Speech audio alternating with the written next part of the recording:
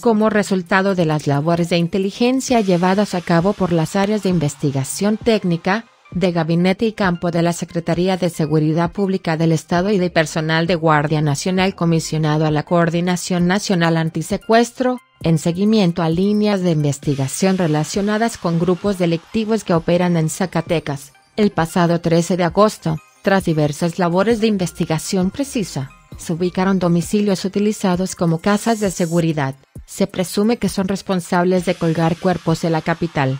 Por este motivo, se implementaron diversas vigilancias fijas y móviles a fin de identificar a quienes estaban utilizando estos inmuebles y venían cometiendo presuntas conductas ilícitas en los municipios de Zacatecas, Guadalupe y Fresnillo. Al encontrarse realizando acciones de inteligencia policial, concretamente vigilancias fijas y móviles, ese mismo día menos 13 de agosto personal de la SSP y CONAS ubicaron una camioneta Ford Expedition, color azul, que era de interés en la investigación por su presunta participación en los homicidios de las personas suspendidas en el puente del Lorito, en la capital del estado, así como a un vehículo en color rojo, a los cuales se les daba seguimiento y tras este monitoreo, se detectó que este último automóvil, participó en la agresión registrada a la altura de la iglesia de piedra en calle San Antonio, de la zona centro en Guadalupe. De esa manera, se inició una persecución a ambas unidades, las cuales se dispersaron por las diferentes calles de la zona conurbada y,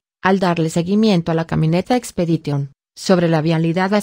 de la Borda, los sujetos de dicho vehículo al verse acorralados iniciaron una agresión con disparos de arma de fuego en contra de los efectivos de CONASE y Seguridad Pública, intentando evadirse de la acción de los uniformados.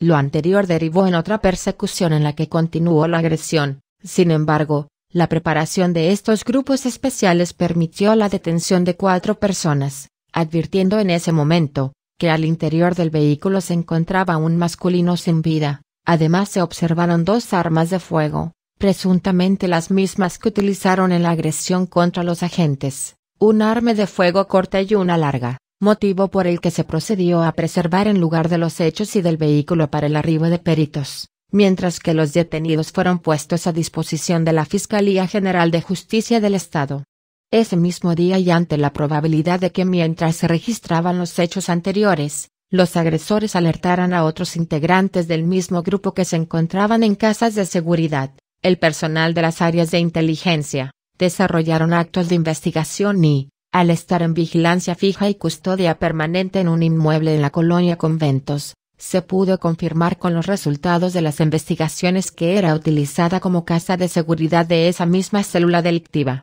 Hay tres personas que portaban chalecos tácticos y dos armas de fuego largas con sus cargadores abastecidos iniciaron una agresión contra los uniformados para tratar de salir y huir del inmueble. Por ello, el personal operativo actuó tácticamente logrando su detención por el probable delito de homicidio en grado de tentativa contra los uniformados. Los detenidos de esta acción fueron puestos a disposición de la FG. En este mismo hecho se logró la liberación de una persona secuestrada, por lo que se solicitó una orden de cateo ante la Fiscalía especializada en combate al secuestro. También el 13 de agosto, al desarrollar vigilancia fija y custodia en un segundo domicilio ubicado en la colonia Ladrilleras, en Guadalupe, por ser de interés en las investigaciones y su relación con el vehículo que participó en la persecución, Dos personas que portaban armas de fuego intentaron darse a la fuga, sin embargo, los elementos oficiales actuaron de manera táctica, logrando su detención y asegurando dos armas de fuego.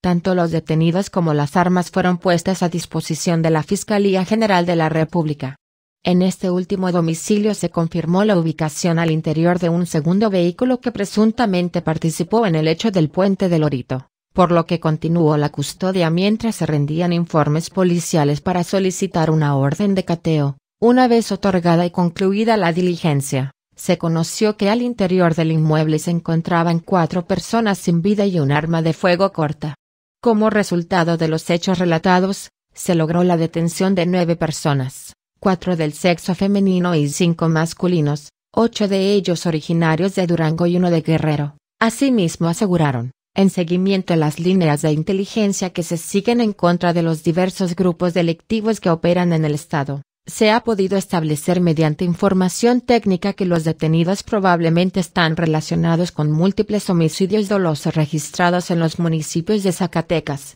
Fresnillo y Guadalupe, destacando eventos violentos tales como los del día 5 de julio de 2021, donde dos personas fueron localizadas suspendidas en el puente vehicular ubicado en la carretera número 45, tramo Zacatecas-Fresnillo, así como el hecho que se suscitó el día 12 de agosto, en el que seis personas fueron localizadas suspendidas en el puente que conduce a la comunidad de Lorito y el homicidio de cinco personas localizadas sin vida sobre la carretera federal 49, tramo Río Grande Fresnillo.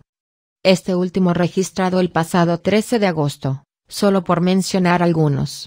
Cabe resaltar que los indicios obtenidos tras las diligencias de cateo quedaron a cargo de la FGES, institución que hizo de conocimiento a la SSP que ya se ejecutaron órdenes de aprehensión por los delitos de homicidio y secuestro.